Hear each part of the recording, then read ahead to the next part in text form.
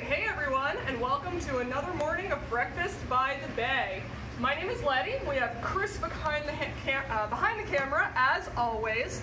And today I have a very exciting topic for you. We're going to be talking all about freshwater turtles uh, in Rhode Island.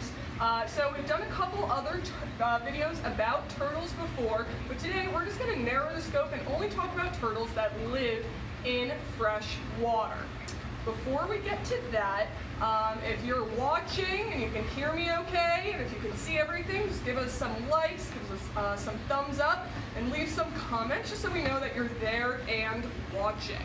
Uh, so, before we actually dive into talking about freshwater turtles, you might think, why would we be talking about freshwater turtles? The key word being freshwater. You know, we talk a lot about Narragansett Bay and how we have brackish water there, but there's two big reasons I wanted to talk to you about freshwater turtles today. One, uh, in the Narragansett Bay watershed, which is a crucial part of Narragansett Bay, if you remember, that's all of the land and water that drains into Narragansett Bay, there are a ton of turtles that live there, and they're really affected by water quality in Narragansett Bay. So I wanted to talk for, uh, about them for that one reason. And secondly, it's spring. It's finally starting to get nice outside, and that means turtles are emerging right now. We can see a ton of different turtles right now if you just go to a body of water, a freshwater body of water. And, um, you know, I would like for you to know what's the deal with these turtles and how to identify them. Uh, so, Captain Chris, do we have people watching right now? Yeah, I got at least a dozen. Uh, Reagan just said she can hear you and see you. And good morning to both you and I. Thank you, Reagan. uh, cool. So, first thing I want to do is talk a little bit about where we are. Right now, you might recognize it. We're at the Exploration Center and Aquarium in Newport, Rhode Island. Uh, so this is where we have all of our animals that were found in Narragansett Bay or in the Narragansett Bay watershed. And actually, at this aquarium, we have six different types of turtles.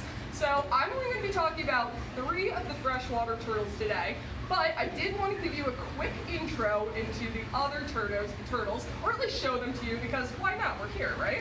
So, uh, Chris, if you could follow me right over here. Yeah. And just uh, take a sneak peek at these turtles right here. If you have been tuning in to Breakfast by the Bay, you might recognize these little guys as our diamondback terrapins. Uh, so, big thing I want to point out first and foremost, a terrapin is an animal that tends to live in coastal estuaries. So that means that they're going to be living in more brackish water. Part of their life cycle could be in fresh water, uh, but these ones in particular really do like that brackish water. If you want to learn more about our Diamondback Terrapins, please refer back to our Breakfast by the Bay that Miss Jess did all about these really cool guys. Um, I'm not going to get too into them today, but they are definitely worth investigating. Yeah, right? I also think we're going to be giving them some food right now. They look kind of hungry. Yeah, it's feeding time here at the EC, so the animals are very excited. Oh, there's Phyllis. She's eating. Phyllis. Old Phyllis. Uh, all right, so those are our diamondback terrapins. The next animal I want to show you is actually pretty weird because this turtle is not from Rhode Island. So I only want to talk about native species today. Those are the ones that I'm really going to take a dive into. But this turtle right over here, Cleo, is a river cooter. Uh, it's crazy that we have her here for a couple different reasons. One, river cooters do not live in Rhode Island, and she was found right out on Easton's Beach. Easton's Beach is a salty habitat and she is a freshwater turtle. When she was found, she had signs that she had just hatched. So that means that there could be a pair of mating river cooters right here in the area. Now, when we found her, we um, when we found her, we asked a lot of people, like, what is this? Local people did not know, and we actually had to send her picture all around the country to find out what she was because it was so weird that she was here. So that's Cleo. She is a river cooter. Um, not too much else to say about her except that if you want to know more about it, there's plenty of information on the web, but she is not native to Rhode Island, so we're just going to leave her be in her tank for now. All right, awesome. And then the last turtle that I want to show you that we're not really going to be talking about today is our turtle Bowser, everyone's favorite snapping turtle. Oh, he's hiding a over in the little bit right now behind his filter. But Bowser is a common snapping turtle. Uh, he has been with Save the Bay for a very long time. He's about eight years old, and he cannot be released back into the wild. So he's here all the time. He's going to live his life out here. Um, now, Bowser already got a starring role in our video all about mutants. He's not necessarily a teenage mutant ninja turtle yet because he hasn't learned karate and he's only eight years old, but he's on his way there. So, uh, if you want to learn more about Bowser, please refer back to our mutants video, which was a Breakfast by the Bay we did a few weeks ago. So, those are three turtles that we have here. I just wanted to show them to you, but we're not going to be talking about them too much today. So, we'll head back right over here. Awesome. And so now we can kind of dive into freshwater turtles. One thing I want to say is that um, you're actually going to be getting a lot of herpetology this week with Save the Bay's Breakfast by the Bay. Um, herpetology is the study of reptiles and amphibians, and today you get to learn all about turtles. But on Thursday, if you're interested in amphibians, our, uh, my friend Jeff is going to be doing a video all about amphibians and focusing on some frogs. So that'll be pretty exciting. If you're interested in that, definitely tune in. So, freshwater turtles. Um, when we're talking about freshwater turtles, there's a couple things you want to know to separate them from some other turtles in the word. Turtle is an umbrella term for a lot of different kinds of animals, um, like tortoises and sea turtles and terrapins, as we saw before, and I'm going to explain the difference in just a second. But first, if we're talking about freshwater turtles, we are talking about turtles that need both land and water to complete their life cycle. That means that they will come up on land a lot of the time to lay eggs, uh, but they also need that water in order to hunt, swim around, and actually the water is where they end up hibernating for the winter. That's pretty cool. Next, uh, I said before that turtles are reptiles. Because if we're talking about herpetology, we're talking about the study of reptiles and amphibians. So turtles do fall into that category. So they're kind of like snakes and lizards in that way. But I wonder if anyone could guess what the big difference between turtles, snakes, and lizards is. It's their shell. So they have a bony shell surrounding their body. Now, when I was a kid, I actually thought that turtles had their shell, but they could crawl out of it whenever they wanted. Uh, I did learn eventually that that's not true. Their vertebrate is actually attached, or their vertebrae is actually attached to that shell. So that means that their bones are all fused together to that shell. So they're in that shell when they're born and they're in that shell when they die. It's their entire life. So their shell is a really important part of what makes a turtle a turtle. Next, uh, freshwater turtles are not tortoises or sea turtles. So a tortoise is an animal or a type of turtle that spends most of its life on land. A sea turtle will be living in the ocean, spends most of its life in the ocean. So the easiest way to tell if you're looking at a turtle, a tortoise, or a sea turtle is to look at its feet. So, a tortoise is normally going to have stumpy legs so it can walk around on land. You can kind of imagine elephant feet, but like really shrunk down to fit that turtle size. Then we have sea turtles, and if you look at a sea turtle's feet, they have flippers because they're spending most of their life in the water. But as we'll learn soon, a freshwater turtle will have feet that are kind of webbed. So they spend a lot of their life in the water, but they're still able to get around on land pretty easily. So that's that. Uh, next, all turtles lay eggs, but freshwater turtles do as well. So they'll lay their eggs typically on land, uh, and then the turtles will hatch, and there's absolutely no parental care. Once those turtles hatch, they're on their own. Next, um, turtles spend, or freshwater turtles spend a large majority of their life doing these three things resting, basking, and foraging. So I have a lot in common with turtles in that regard. so uh, they're resting, they're conserving their energy. Basking means that they'll be out in the sun absorbing the heat. So they want to find a sunny spot.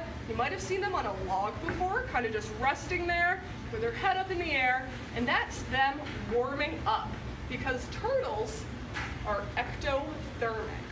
So something like a mammal, like us, we're endothermic.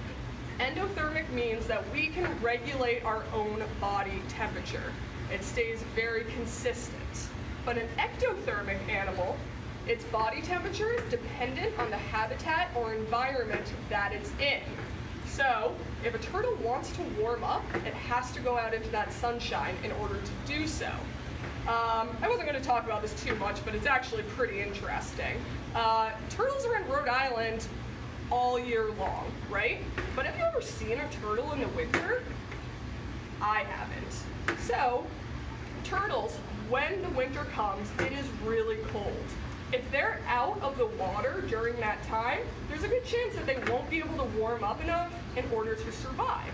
So they actually go to the bottom of a body of water and hang out there all winter by slowing down their breathing and slowing down their metabolism. So they can actually stay underwater for up to 100 days during the winter. It's a lot easier for them to stay warm underneath the water. So that's pretty cool. That's crazy, right? They breathe oxygen and yet they can stay underwater for 100 days.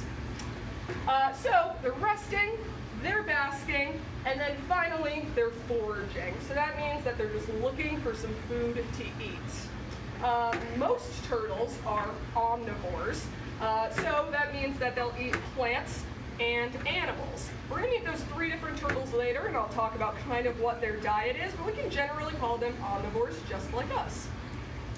Uh, then finally, people might want to know what predators do turtles have? You know, they have that really hard shell, and they're really good at hiding inside of that shell, but some animals do still manage to eat them. Uh, birds, first off, we might have some birds of prey that would be interested in turtles. Raccoons, raccoons just eat everything. Skunks, coyotes, minks, and even dogs. I know my dog's been curious about some turtles on walks before, so there we go. Uh, Chris, do we have any questions before I move on to the anatomy of turtles? Um, well, Mackenzie wanted to let everybody know that she's been doing some resting and basking and foraging recently as well. Um, and there was a question about the size of some of the. Self-care. Yeah. uh, there was a question about some of the, the sizes that the turtles that we uh, met just a moment ago will reach, but maybe we can talk about sizes when we get into some of the other uh, species that we're meeting up close in just a moment. Yeah, definitely. One thing I can say, I'm not totally sure about the river cooter. Um, like I said, that's not a turtle that lives in Rhode Island.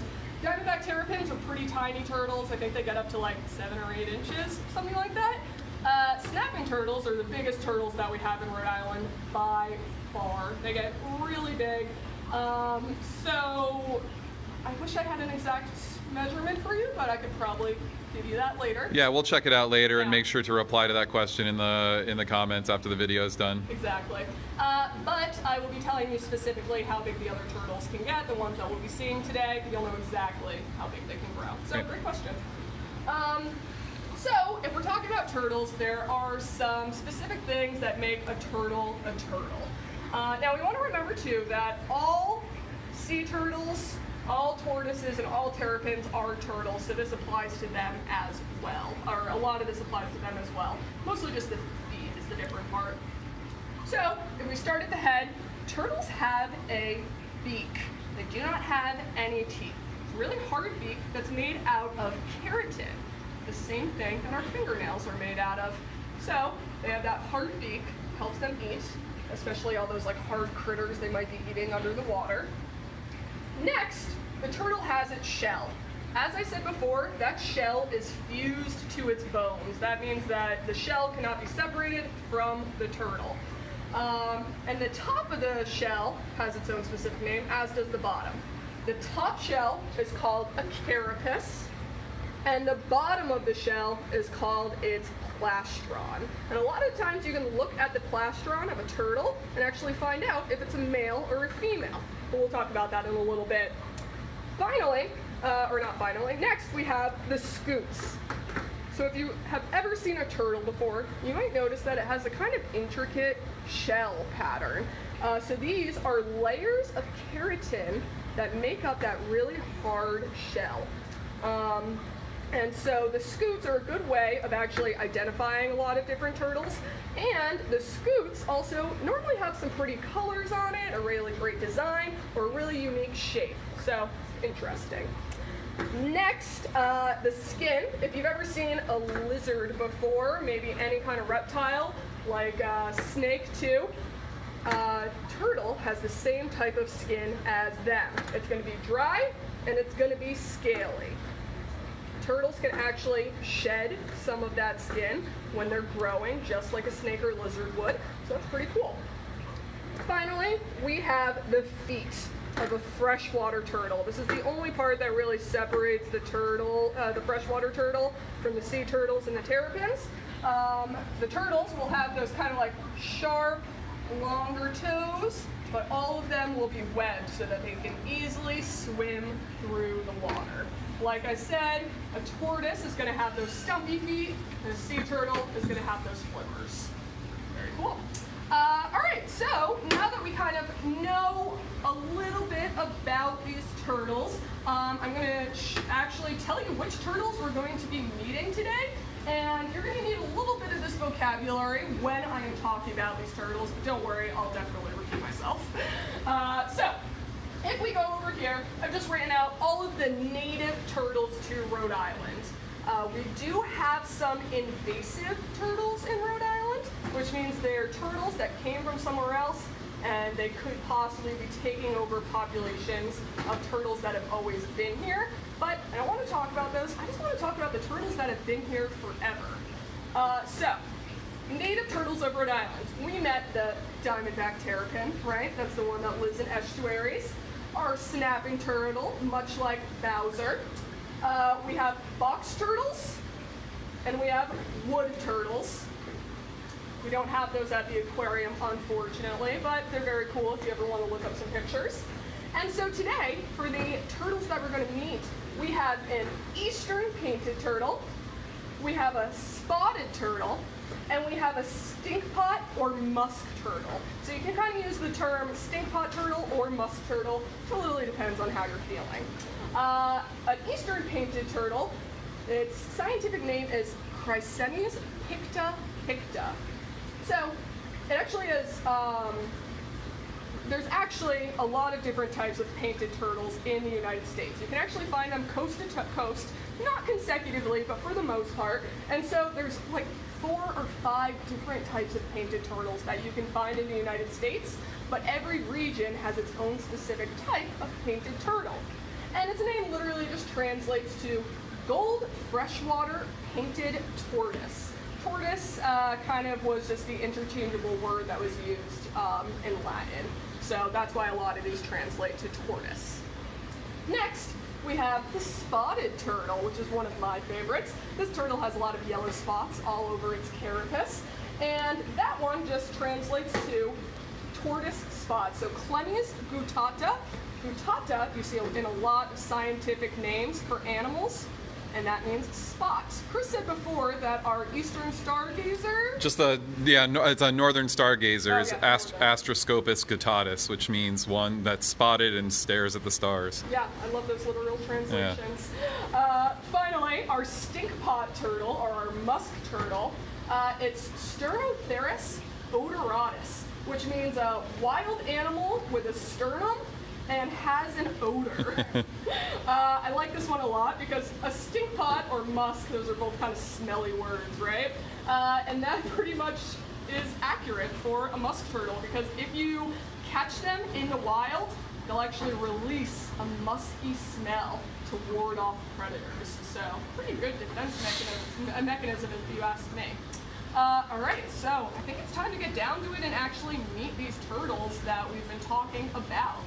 Awesome. Uh, I wonder, are any of them your favorite? Samantha was wondering, what's your favorite kind of turtle? My favorite kind of turtle, um, it is actually the spotted turtle. Oh, we're gonna meet that in just a second then. We're then. gonna meet it in just a second. So I do have turtles that I like that don't live in Rhode Island. But if we're talking about native turtles of Rhode Island, it's a spotted turtle. You'll see that it's really beautiful, and I'm gonna be talking about the conservation of these animals in a little bit. And it's actually become kind of a collector's item in Ah. like wild turtle poaching field. Uh, so we'll talk about that in a little bit, and you'll actually get to meet my favorite turtle. Awesome. Thanks, Samantha. Um, so, here is the first turtle that we are going to meet. I'm actually going to take it out. Uh, the one thing I'm going to mention about this turtle is that he is a little bit shy, so I'm not going to handle him too, too much, but I do want to show you a couple notable things about him. So, if anyone was um, guessing from home as to what kind of turtle this is, you might be able to. This is a very common turtle in Rhode Island. Some might say the most common. And this is our painted turtle. So if you look at him and look at his shell, you can kind of look like he has a lot of paint strokes all over him. It really does look like he was painted together. Uh, so there's a couple notable things about him. First off, if we look at his carapace, that's the top part of his shell right here. You can see that it is black with red markings on the outer edge. So you see those white spots, or those red spots right there. Very nice. And then his skin, these can either have like a dark green or a black color to it and it's normally striped with red and yellow. So you see that red stripe right on there, on his legs. And then you can always tell it's a painted turtle because you can see on the side of his face, he has those two yellow lines coming down from his eye on both sides. So that is Awesome. a classic painted turtle. So, male and female painted turtles are a little hard to tell the difference between because normally, if you're talking about turtles, you can look at their plastron, um, and I'll show you this with a spotted turtle. But the painted turtle, um, the only way to really tell the difference is by looking at its front claws and its tail. Which he doesn't want to show either. But she doesn't want to show either of. So, uh, painted turtle, if it's a male, is going to have really long arms for the front. Yep, that's good. Even longer than a female, so you can see that he has really long arms, really long claws, and then its tail is going to be thick and long. Yeah, I don't know if we're gonna. Maybe. Maybe when they're back down in the. Yeah. In the bin, we'll take a look. Back down. So this is going to be a male painted turtle. It's a little hard to tell if you haven't seen um, male or female painted turtle up close before. You know, saying like what is a long claw and what's a long tail.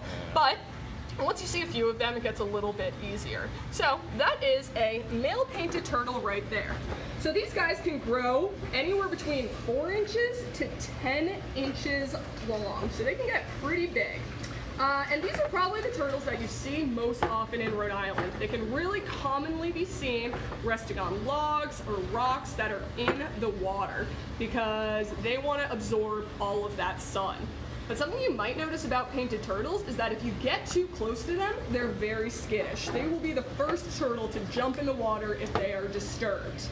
Uh, silly thing about them is that a lot of the times you can actually see the turtles piling on top of each other on the rock. If real estate is limited, there's not enough um, log space or rock space, the painted turtle will climb on top of the log, realize there's not much space, and just climb on top of one of his friends. So that's pretty funny. Uh, if you ever want to find them, you know, you can find them in most wetlands. You can find them in rivers and marshes, lakes, ponds, streams. They are incredibly common in all of those areas. Um, and my favorite thing about painted turtles is that they actually have this really elaborate courtship dance. So when a male is trying to find a female, uh, they do this thing where they dance around in the water together. He'll actually take his claws and stroke the face of the female, like they're kind of face to face, staring into each other's eyes, stroking. the face. So that's pretty silly. And they'll do this for hours at a time. Very cute.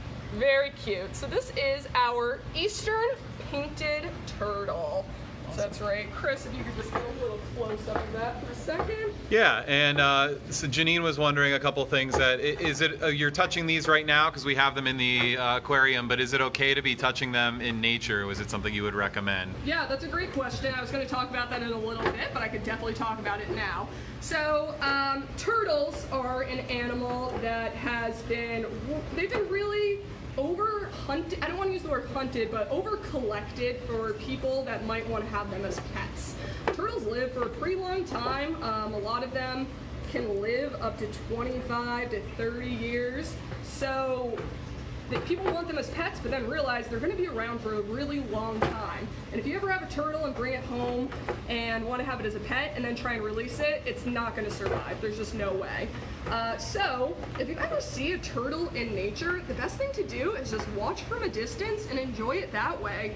Uh, they can be really serene just to watch on those rocks or swimming in the water. Uh, so if you do see one, it's really best to just let it do its thing. If you see it wandering around on land, it could be trying to get to a spot to lay its eggs. Uh, so best not to disturb it. Um, just Yeah. leave them be. That's a really great question. Thank you for your concern, Janine. The only thing I would add to that is, as Letty said, this is the time of year where these guys are starting to emerge and walk around. You might see some crossing roads. I've already had to stop once, uh, so I didn't run one over. So if you do need to help one cross a road, it would be okay to just be gentle and pick it up and move it to the side.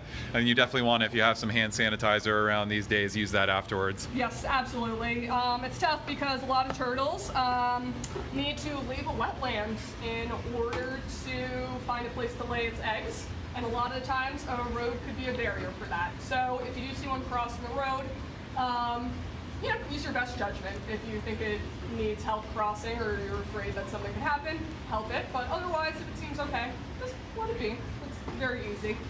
Uh, so, Next, this is my favorite turtle. This is a spotted turtle. Now if you look right here, you can tell that its name is pretty apt. So you look right on its shell. It is a black turtle. It could be dark green or black, and it has little yellow spots all over it. Uh, so it won't just have spots on its carapace, it can actually have spots on its body as well. It's kind of hard to see. There's a couple on the head. There's a couple on the head, and you can see a couple on the legs, so it will definitely have spots on its carapace. And then it will definitely have spots on its legs and head as well as it grows older. So, um, when these turtles are born, typically they'll just have one spot per scute, which is pretty adorable, just a little dot on each one. Um, for anyone who likes order like me, that sounds great. And then, um, as it grows older, it can have up to a hundred spots on its body. So, um, what was I going to say? Oh, so if we're looking at this turtle, if you want to tell if it's a male or a female, they are a lot easier to tell than a painted turtle. First off, if you look at the plastron, I'm going to put it to the side a little bit. I don't know if you can. I got it. Okay, great. So, this turtle, you can see that its plastron is kind of indented. So it's not flat like the painted turtle was. It actually goes in. We call that concave. So that means that this is a male spotted turtle. Uh, that is an easy way to tell, and it out that uh, concave plastron actually applies to a bunch of different turtles. If you look at it and it's concave like that, there's a very good chance that it is a male. Um, and then with a spotted turtle, you can also tell if it's a male or a female because the male has brown eyes and a female will have orange eyes. So that's pretty nice, pretty alluring. Um, so these guys are very popular in the animal trade industry. I mean, they're just so beautiful. You see those spots on them. They're kind of a Whoops. collector's item for people. I just turned the camera around on myself. Man, classic. Nobody wants to see me. We want to see the turtle. So, uh, this spotted turtle was actually rescued from a pet store. So, a lot of pet stores try and sell turtles. They'll collect them from the wild or get them um, some other way, and then they'll try and sell them as pets. But it's actually not allowed.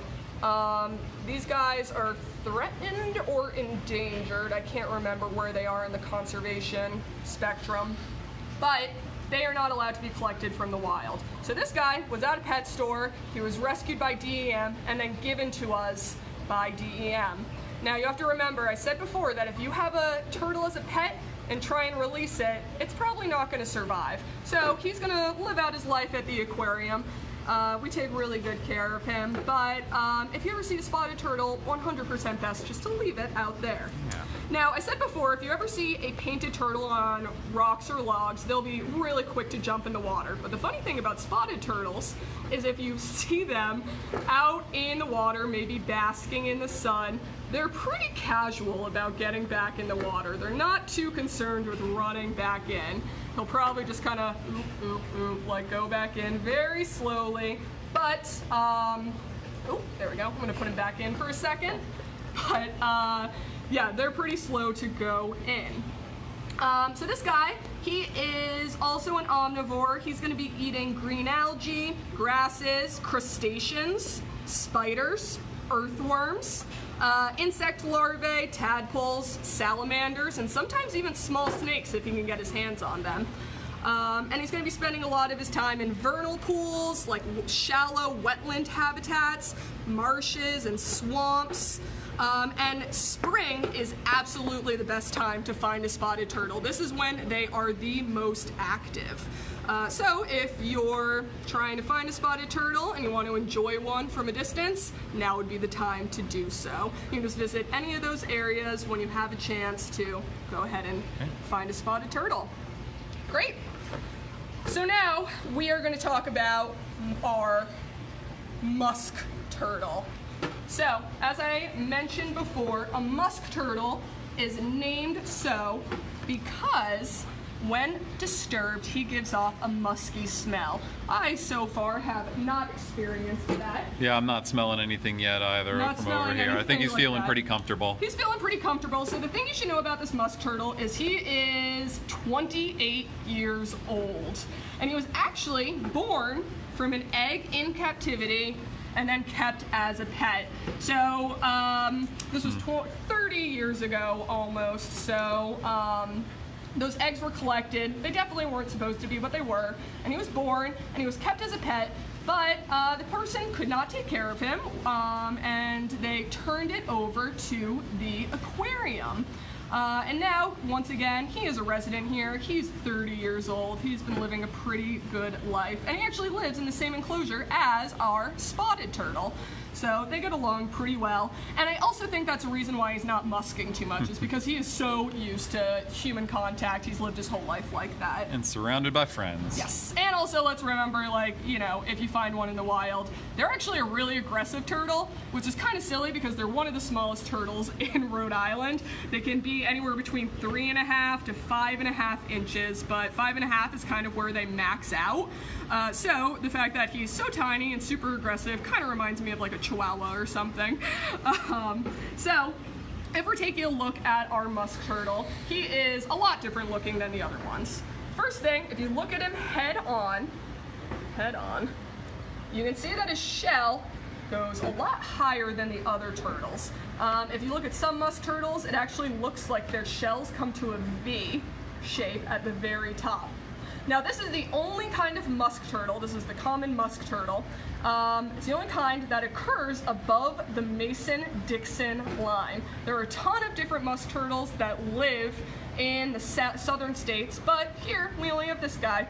Now, he is generally carnivorous, so while I said most freshwater turtles are omnivores, he is, but if he is choosing what he wants to eat, he is going to be eating, um, he's going to be eating mostly meat. So that's like, bot, he's like a bottom feeder, eats snails, clams, larvae, um, dragonfly nymphs, beetles, leeches, minnows, tadpoles, worms, fish eggs, fish.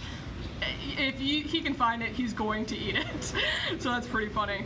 Now, one hilarious thing that I read about stinkpot turtles in my herpetology book was that if you're ever kayaking and a turtle falls on your head, there's a good chance it's a musk turtle. And that's because they like to climb up onto logs that are kind of higher, like above the water line, and then they'll see you coming, kind of panic and try and get back in the water, but then they fall on your head. So if you ever have a turtle fall on your head, there's a very good chance that it's a musk turtle.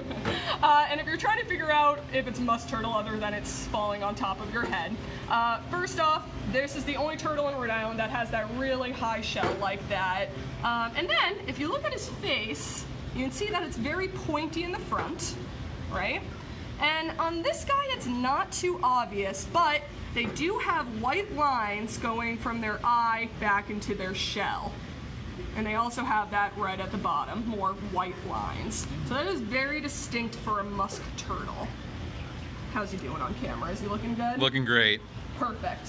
Uh, so he's normally found in kind of like sluggish waters. He doesn't really like water, like moving over his shell all the time. He wants something with a muddy bottom. So that's like, um, you know, swamps, uh, ponds, lakes, ditches, or even like canals. That's where he would want to be. And he's going to spend a good amount of his life underwater. He does not come up that often. Um, he stays underwater, and actually, most turtles are turtles are diurnal. That means that they are active during the day. He's actually pretty active at night. That's when he does a lot of his hunting for those animals that he's eating.